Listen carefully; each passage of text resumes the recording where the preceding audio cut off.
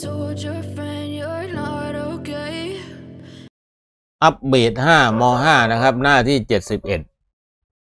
โอเคครับ ภาพชัดเสียงได้ยินก็เข้าในเนื้อเรื่องเลยนะครับผม ข้อที่หนึ่งนะครับ เป็น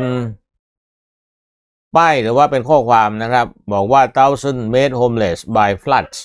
นั่นก็คือเป็นป้ายแจ้ง อ่า disaster นะครับ ภัยพิบัติทางธรรมชาติ flood นะครับก็คือน้ำท่วมนะครับ น้ำท่วมทำให้ผู้คนหลายพันคนนั้นไร้ที่อยู่อาศัยนะครับนะ thousand term s homeless นะครับไร้ที่อยู่อาศัยภาพที่สองนะครับ earthquake hit Southeast Japan แผ่นดินไหวนะครับได้โจมตีนะครับ ญี่ปุ่นทางทิศตะวันตกเฉียงใต้นะครับ แผ่นดินไหวได้เข้าโจมตี หรือว่าแผ่นดินไหวได้เกิดขึ้นนะครับ ที่ทางทิศตะวันตกเฉียงใต้ของประเทศญี่ปุ่นข้อที่สามครับ subscriber สกายเอ่อสักสกไคเออร์นะครับ kill สกีเออร์ตัวที่แหมคุณครูก็สกีเออร์ kill in avalanche แปลว่าคนที่เล่นสกีนะครับ ถูกฆ่าชีวิต เพราะหิมะละลายนะครับแปลว่าอย่างนั้นนะครับนะแหมสเกีเออร์นะครับ อ่านผิดเลยข้อที่สี่ครับ Florida issue hurricane warning รัฐฟลอริดานะครับ ได้ออกประกาศแจ้งเตือนนะครับนะ issue ได้ออกประกาศแจ้ง warning แจ้งเตือน เกี่ยวกับพายุเฮอริเคนนะครับ จะเข้าถล่มที่รัฐฟลอริดาภาพที่ห้าครับผม เชื่อว่า volcano due to erupt จาวานะครับไม่ใช่เจวาน่าจะน่าจะเจวานะครับ กรุงเจวาเพราะกรุงเจวานะครับ volcano ภูเขาไฟระเบิด due to erupt due to แปลว่า ถึงคราวนะครับ หรือว่าถึงวาระที่จะต้องประทุแล้วนะครับนะเชื่อว่า volcano หรืออาจจะเป็นชื่อภูเขาไฟก็ได้นะครับ ชื่อภูเขาไฟชื่อว่าจาว่า ถึงโอกาสหรือว่า ได้โอกาสที่จะต้องอระเบิดประทุออกมาแล้วนะครับ ข้อที่หก Roush hit Kenya Roush แปลว่าภาวะแห้งแล้งนะครับ สภาวะแห้งแล้งได้เข้าโจมตีที่ประเทศเคนยา และก็ภาพที่เจ็ดนะครับ New Tsunami ถ้าสึนามินะครับถ้าอ่านจริงๆถ้าสึนามิ Warning System in Pacific ระบบการแจ้งเตือนภัยสึนามิระบบแบบใหม่นะครับนะ ในแปซิฟิกนะครับ ระบบแบบใหม่แจ้งเตือนถ้าสึนามินะครับสึนามิได้ติดตั้งอะไรประมาณนี้นะครับนะในแปซิฟิกดังนั้นเรามาดูกันนะครับ หัวข้อที่ 6 ก็คือ temperature temperature นะครับสี่พยางค์นี้ฝรั่งจะอ่านเหลือสามพยางค์นะครับเป็น temperature นะครับ ข้อที่ 6a คือให้ put words in order from the highest to the lowest temperature ให้นำสภาพอากาศเหล่านี้นะครับ ทั้ง 7คำศัพท์เรียงตามลำดับความ highest นะครับ ก็คือหนาวที่สุดไปยัง lowest temperature อุณหภูมิที่หนาวน้อยที่สุด หรือว่าจากร้อนไปหาหนาวว่าอย่างนั้นเถอะนะครับนะ นั่นก็คือ highest นะครับ ร้อนที่สุดก็คือ scorching scorching แปลว่าไม่เกรียมนะครับนะ hot ร้อนธรรมดา warm อบอุ่น mild อ่าอ่ากลางๆนะครับเบาๆ cool เริ่มหนาวแล้ว ส่วน cold หนาวมากกว่า cool แล้วก็ freezing นะครับ เป็นน้ำแข็งเลยนะครับนะในช่องฟรีซในตู้เย็นเป็นต้นนะครับนะ ก็นี่คือขั้นต่ำที่สุด อุณหภูมิต่ำที่สุด lowest นะครับ อุณหภูมิสูงที่สุดก็ highest นะครับ temperature นี่มาข้อ B ครับข้อ B ก็บอก think of your country ให้นึกถึงประเทศของนักเรียนนะครับ what is the temperature in various regions at different time of the year ให้นึกถึงประเทศของนักเรียน แล้วก็อุณหภูมินะครับในภูมิแต่ภูมิภาคที่แตกต่างกันนะครับนะ ในแต่ละเวลาหรือว่าในแต่ละเดือนของปีนะครับ แล้วก็ให้นำมาอธิบายเพื่อนๆฟังในห้อง ก็ตามที่หนังสือได้เขียนมาให้เลยนะครับ ประมาณนี้หนังสือเขียนว่า during the winter นะครับ ในช่วงฤดูหนาวนั้น it's very cold หนาว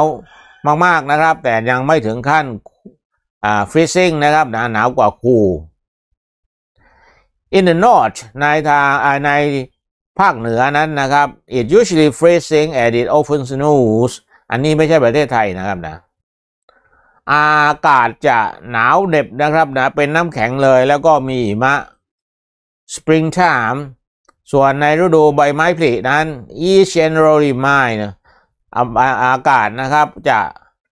สบายๆนะครับนะ mild in the south ในทางภาคใต้ it quite warm นะค่อนข้างที่จะอบอุ่นทีเดียว but แต่ว่า in the north แต่ในทิศเหนือในภาคเหนือนั้นนะครับ ในฤดูสปริงนั้น it stay rather cool out till summer it stay stay ไม่ต้องไปแปลนะครับว่าภาคอาศัย เป็น helping verb นะครับนะ มาทำหน้าที่แทน verb to be นะครับ it stay rather cool มันค่อนข้างที่จะหนาวนะครับจนกระทั่งถึงโน่นเลยหนาวไปจนถึงฤดูร้อนเลยนะครับ out till summer ในที่นี่ เป็นต้น ต่อไปมาเรียนเรื่อง prepositional phrases นะครับ ก็คือวลีที่มี preposition อยู่ด้วยนะครับ ให้ underline the correct words involved in each sentence แปลว่าเขียนเส้นใต้นะครับคำศัพท์ที่ถูกต้องที่เป็นตัวทึบนะครับในแต่ละประโยค นั่นก็คือประโยคที่หนึ่งจะมีตัวทึบอยู่สองคำคือคำว่า in และคำว่า on และหนังสือเขาก็เฉลยมาให้แล้วก็คือคำว่า in นะครับ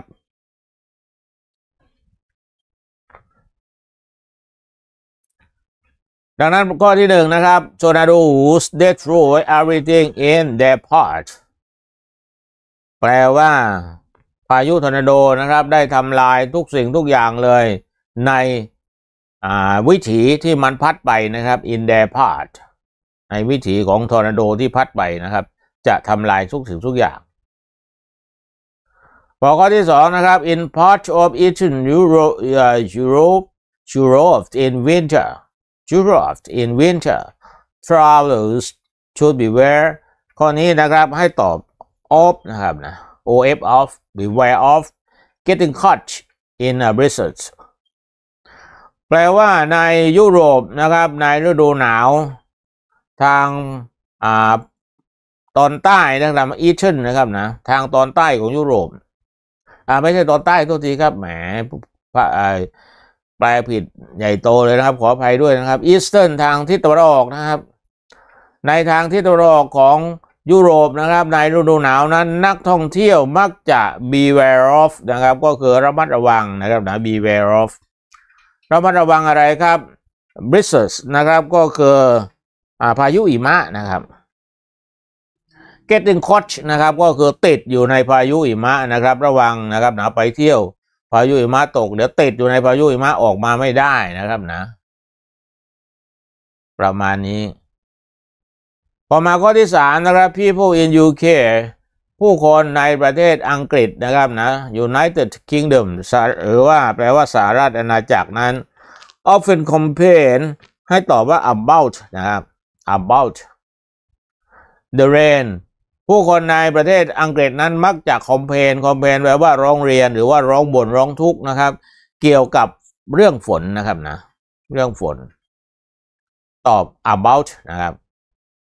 ข้อสี่ครับ hailstorm cause a lot of damage ข้อนี้ให้ตอบว่า two นะครับ two houses in the area เฮลโซมแปลว่าพายุลูกเห็บนะครับนะพายุลูกเห็บนั้นเป็นสาเหตุให้เกิดอันตราย หรือว่าให้เกิดความเสียหายต่อบ้านเรือนนะครับ ในพื้นที่แถบนั้น ให้ตอบ damage to นะครับตอบ to ข้อที่ห้าครับ people had to deal ให้ตอบ with นะครับ with a long power cut after the storm people had to deal with deal with แปลว่าให้อดทนนะครับนะให้อดทนต่ออะไรครับเออลอง power cut ก็คือกระแสไฟฟ้าถูกตัดนะครับนะเป็นระยะเวลานาน หลังจากที่เกิดพายุนะครับ ผู้คนต้องอดทนนะครับ to deal with นะครับข้อสุดท้ายท้ายสุดครับ she is frightened ให้ตอบ off นะครับ of of thunderstorm หลอนนั้นตกใจกลัวนะครับ ตกใจกลัวอะไรครับ thunderstorm ก็คือฟ้าผ่านะครับนะ ฟ้าผ่าฟ้าส่งเสียงร้องนะครับ thunderstorm พายุนะครับ พายุฟ้าถล่มนะครับ ประมาณนั้น ตอบ off นะครับ of ไปต่อเลยนะครับ idiom and fixed phrases นะครับ idiom ก็คือสำนวนนะครับนะสำนวนสุภาษิตคำพังเพย ที่เป็นการเปรียบเทียบนะครับ ไม่ได้แปลตรงๆตามพยัญชนะ นะครับ fixed phrases นะครับวลีที่ตายตัวนะครับที่ฟิกเอาไว้ตายตัว นั่นก็คือ read the sentences ข้อ1ถึงข้อ8ได้เรียนอ่านประโยคข้อ1ถึงข้อ8นะครับให้ circle the correct word ให้วงกลมคำที่ถูกต้องนะครับที่ complete the idiom in bold ที่ทำให้สุภาษิตหรือคำบังเพยเหล่านั้นนะครับ สมบูรณ์แบบ นั่นก็คือข้อหนึ่งเขาวงกลมคำว่า cloud นะซึ่งแปลว่าเมฆซึ่งเป็นคำเปรียบเทียบนะครับ Richard in such a dreamer Richard นะครับเป็นคนที่ช่างฝันเหลือเกิน ดังนั้น he has got his head in the cloud ถ้าแปลตามคำศัพท์แปลว่าเขานั้นนำศีรษะของเขาไปใส่ไว้ไปวางไว้บนเมฆนะครับถ้าแปลตามคำศัพท์ ดังนั้นแปลตามคำศัพท์ไม่ได้แน่นอนครับ ดังนั้นสำนวนอีเดียมตัวนี้นะครับนะ has got his head in the cloud นะครับตอบคลาว แปลว่าเป็นคนช่างเพ้อฝันนะครับนะ เป็นคนช่างเพ้อฝัน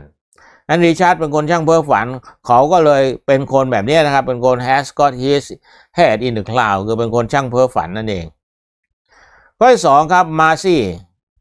is not very well Marcy ไม่สบายนะครับนะคำว่า is not very well ไม่ได้แปลว่าไม่ดีมากๆนะครับ อย่าแปลว่า Marcy ไม่ดีมากๆเพราะ well แปลว่าดี แต่แปลว่าไม่สบายนะครับ ป่วยนะครับนะ is not very well เนี่ย she is failing under the นะครับ ตรงนี้ให้ตอบ weather นะครับ เช่นเคยนะครับ ตรงนี้เป็นอีเดียมนะครับนะตัวทึบเนี่ยเป็นอีเดียมนะครับนะถ้าแปลตามคำศัพท์แปลว่าหล่อนกำลังรู้สึกอยู่ภายใต้สภาพอากาศ ดังนั้นก็เลยแปลคล้ายกันเลยนะครับนะ feeling under the weather นะครับ temperature ไม่เอานะครับนะก็ให้ตอบตัวเดียว แปลว่าไม่สบายนะครับนะหล่อนไม่สบายนะครับ หล่อนป่วยนะครับ ข้อที่สามครับ it was a silly argument นะครับ มันเป็นการโต้แย้ง หรือโต้เถียงที่แสนอย่างโง่สิ้นดีนะครับ just เออนะครับ ตรงนี้ให้ตอบ storm นะครับนะ ให้ตอบ storm in a tea cup ให้เลือกระหว่าง storm กับ blizzard นะครับ blizzard นี่อ่าหิมะตกนะครับนะหิมะพายุหิมะ ส่วน storm ก็พายุฝนนะครับ ให้ตอบ storm นะครับ ก็ไม่ต้องแปลอีกเช่นเคยนะครับนะอย่าไปแปลว่าพายุในแก้วกาแฟในแก้วแก้วแก้วน้ำชาไม่ใช่นะครับ พายุในแก้วน้ำชาในที่นี้คือทำเรื่องเล็กให้เป็นเรื่องใหญ่นั่นเองนะเออเขาช่างเปรียบเทียบนะครับนะพายุในแก้วน้ำชา ก็คือทำเรื่องเล็กให้เป็นเรื่องใหญ่ ดังนั้นก็เลยแปลว่า มันเป็นการโต้เถียงที่โง่สิ้นดีนะครับนะทำเรื่องเล็กให้เป็นเรื่องใหญ่นะครับ หรือไม่ก็เขาเรียกว่าสาวอ่า เสือกความยาวสาวความยืดอะไรประมาณนั้นนะครับนะทำเรื่องเล็กๆให้เป็นเรื่องใหญ่อะข้อที่สี่ครับผม things were going so well for him อันนี้ well แปลว่าดีก็ได้นะครับนะ คือทุกสิ่งทุกอย่างนั้นดูแล้วว่าเป็นไปด้วยดีมากสำหรับเขานะครับ but แต่ว่า then when it rain it's ไอต่อ pour นะครับ p o u r pour ซึ่งแปลว่าเทหรือเรนหรือฝนเทลงมาเนี่ยนะครับ เป็นคำสำนวนอย่างเหมือนกันนะครับนะ นั่นก็คือสุตรงกับสุภาษิตไทยว่าผีซ้ำด้ำพลอยนะครับนะ ถ้าเป็นภาษาแปลเป็นไทยเป็นไทยก็หมายถึงว่าเหตุการณ์มันย่ำแย่นะครับนะย่ำแย่อยู่แล้วก็ย่ำแย่ลงไปอีก ประมาณนั้นนะครับก็ว่าผีซ้ำด้ำพลอย นั่นก็คือดูเหมือนว่าทุกสิ่งทุกอย่างเนี่ยจะเป็นไปด้วยดีสำหรับเขานะครับ แต่สุดท้ายก็เหตุการณ์ยิ่งแย่ลงนะครับนะ when it rains it pour แปลว่าเหตุการณ์ยิ่งแย่ลงนะครับ ตอบผู้นะครับ อย่าไปตอบดิสเซลนะครับ ข้อที่ห้าครับ Greg told everyone Jen's exciting news before she did and stole her ให้ตอบ thunder นะครับ stole her Thunder สโตชันเดอร์นะครับ ไม่ได้แปลว่าขโมย สายฟ้าอะไรทั้งสิ้นนะครับนะ แต่เป็นสำนวนเป็นอีเดียมนะครับ แปลว่าแย่งซีนนะครับนะถ้าแปลเป็นภาษานิยมสมัยนี้เขาเรียกว่าแย่งซีน หรือถ้าแปลไทยเป็นไทยก็คืออ่าเอาหน้านะครับนะไปแย่งไปแย่งเอาผลงานของคนอื่นซะอะไรแบบนี้ไปในขณะที่คนอื่นกำลังกำลังทำงานหรือทำอะไรอยู่นะครับ ตัวเองไปแย่งมาเฉยๆประมาณนั้นนะครับ ไปอ่าไปสร้างจุดเด่นนะครับ ประมาณนั้น เอาเป็นว่าแย่งซีนเข้าใจนะครับนะ ก็แปลว่าเกรกนั้นกำลังบอกว่ากำลังบอกทุกคนนะครับว่าอ่าความตื่นเต้นนะครับ ของเจนเจนนั้นเออเจนนั้นตื่นเต้นกำลังตื่นเต้นอยู่ที่ได้ทราบข่าวมาก่อนหน้านี้นะครับ ซึ่งอ่า before she did คือเจนนั้นนะครับนะกำลังตื่นเต้นอยู่ แต่ว่าเกรกนะครับ มาบอกกับทุกคน โดยเกรกนั้นมาแย่งซีนเพราะว่าอย่างนั้นนะครับความหมายนะ and stole her thunder ก็คือเกรกมาแย่งซีนเธอซะก่อนความจริงแล้วเจนกำลังดีใจอยู่กับอะไรสักอย่างหนึ่งในสิ่งที่หล่อนทำนะครับกำลังดีใจแต่เกรกนะครับนะมาแย่งซีนไปบอกคนอื่น แล้วก็กลายเป็นจุดเด่นเข้าไปอ่าไปสนใจที่เกรกเสียเลยประมาณนั้น ต่อไปก็ได้บอกครับ Donna put some money aside every month and save it for อ่า rainy นะครับนะให้ตอบ rainy อ่า rainy day นะครับ ใส่คำว่า day ด้วยนะครับ เป็นอีเดียมเหมือนกันนะครับ แปลว่าอย่างนี้นะครับ แปลว่าดอนน่านั้นได้อ่าเก็บเงินไว้ใช้ภายหลังนะครับนะเออไซต์เนี่ยนะครับเก็บไว้ใช้ในภายหลังเออไซต์เก็บเงินไว้ใช้ในภายหลังก็คือเก็บออมนะครับ ทุกๆเดือนเลย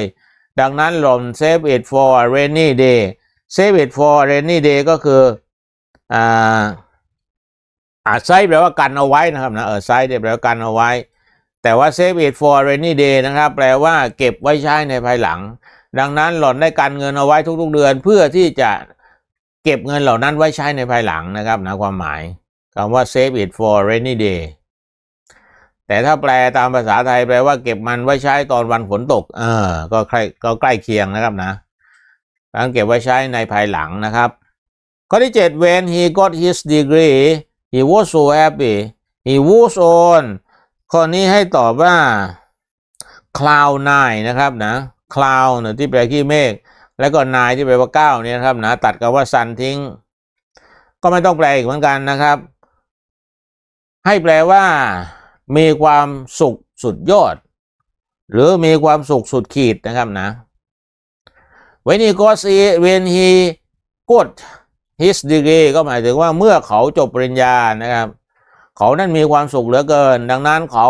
มีความสุขสุดยอดนะครับนะ he was on on cloud nine นะครับ เขามีความสุขสุดยอด หรือก็มีความสุขสุดขีดนะครับ มีความสุขเอามาก ๆ ประมาณนั้นนะครับ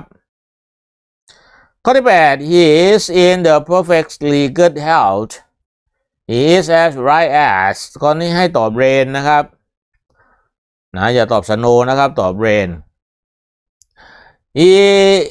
is in the perfect good health ก็คือเขามีสุขภาพดีสมบูรณ์เหลือเกินนะครับนะมีสุขภาพดีมากๆ ดังนั้น he is as right as rain ให้แปลว่าทุกสิ่งทุกอย่างดีขึ้นนะครับ แปลว่าทุกสิ่งทุกอย่างนั้นดีขึ้นมากสำหรับเขานะครับ ทุกอย่างดีดีกับเขามาก ทุกอย่างสภาพความเป็นอยู่อะไรทุกอย่างของเขานั้นดีขึ้นมากๆอ่าแปลว่าอย่างนี้นะครับก็ว่า he is as right as as right as rain นะครับเป็นสำนวน คิดว่านักเรียนคนจะจำได้นะครับ แต่จำไม่ได้ก็หยุดคลิปฟังหลาย ๆ รอบนะครับ คุณครูไปเร็วเลยนะครับนะเพื่อกระชับได้ใจความ ต่อไปมาเรียนเรื่อง prosal verb นะครับกริยาวลี นั่นก็คือ อ่า turn up นะครับ break up นะครับ roll up put up do up แล้วก็ hold up นะครับ break up นะครับแปลว่า stop for holiday ก็คือหยุดนะครับ หยุดบางสิ่งบางอย่างเพื่อที่จะไปเที่ยววัน holiday ให้แปลว่าอย่างนี้นะครับนะไม่ใช่ว่าไม่ไปเที่ยววัน holiday นะครับก็ว่า stop for holiday หยุดอย่างอื่นเพื่อไปเที่ยววันหยุด holiday roll up นะครับแปลว่า stop a vehicle ก็คือหยุดรถหยุดยานพาหนะต่างๆนะครับนะ roll up put up นะครับ แปลว่า offer hospitality hospitality แปลว่าการต้อนรับนะครับนะ ก็คือเสนอการต้อนรับ put up นะครับ ส่วน do up นะครับก็คือ fasten fasten ก็คือผูกรัดมัดอะไรประมาณนี้นะครับ hold up นะครับ แปลว่า delay นะครับ แปลว่าช้านะครับนะ delay นะครับ ช้าหรือสายนะครับ หรือล่าช้า ส่วน turn up นะครับแปลว่า appear หรือปรากฏนะครับนะ turn up ดังนั้นเราเอาคำเหล่านี้มาเติมลงในประโยคกันนะครับนะ ข้อแรกครับ Sarah can't wait for school to ซาร่านะครับไม่สามารถคอยได้นะครับนะสำหรับโรงเรียนที่จะอะไรอัพนะครับ ที่จะ break up นะครับนะ B I E A K break up break up แปลว่าอะไรครับเมื่อกี้ หยุดนะครับนะหยุดโรงเรียนหยุดเพื่อที่จะไปเที่ยววันโฮลิเดย์ดังนั้นก็แปลว่าซาร่าไม่สามารถคอยได้นะครับนะคำว่าไม่สามารถคอยได้ในที่นี้คือใจจดใจจ่ออยากจะไปเที่ยวแล้วเหลือเกินนะครับ แปลว่าอย่างนั้นด้วยนะครับนะถ้าแปลเป็นไทยให้เข้าใจง่ายซาร่านั้นใจจดใจจ่ออยากจะไปเที่ยววันหยุดแล้วเหลือเกินนะครับสำหรับ summer holiday นะครับ ก็คือ holiday ในช่วงฤดูร้อนนะครับ แปลว่าอย่างนั้นนะครับนะ คำว่าไม่สามารถคอยได้นี่คือใจจดใจจ่อที่จะไปเที่ยว ในวันหยุดฮอลิเดย์ช่วงฤดูร้อน ข้อที่สองครับ my uncle's house was flood so we ข้อนี้ให้ตอบพุทนะครับนะพุทอัพพุทอัพก็คืออ่า hospitality นะครับนะยินดีต้อนรับนะครับนะต้อนรับ hospitality ก็แปลว่าบ้านของคุณลุงหรือคุณอานะครับนะที่เป็นผู้ชายนั้นถูกน้ำท่วม ดังนั้นพวกเราก็ยินดีต้อนรับเขานะครับ และครอบครัวของเขาจนกระทั่ง the damage was repair จนกระทั่งการถูกทำลายด้วยน้ำท่วมเหล่านั้นนะครับนะได้รับการซ่อมแซมนะครับ เช่นบ้านถูกทำลายอะไรอย่างเงี้ยนะครับนะได้รับการซ่อมแซมเมื่อไหร่ ก็ค่อยกลับไปประมาณนั้น ยินดีต้อนรับนะครับนะอ่า พุทอัพนะครับตรงนี้นะพุทอัพตรงนี้เติมว่าพุทนะครับ put พุทอัพอันนี้เบรกนะครับนะเบรกอัพไปข้อที่สามครับ sorry we are late ขออภัยด้วยขอโทษด้วยนะครับ ผมมาสายพวกเรามาสาย we were นะครับ ตรงนี้ให้ตอบ held up นะครับ H E L D นะครับ held up held ho ho นะครับนะในที่นี่เมื่อกี้เขาเขาเขียนว่า ho เราใส่ held นะครับช่องหนึ่งนะครับนะ we were held up by the bad weather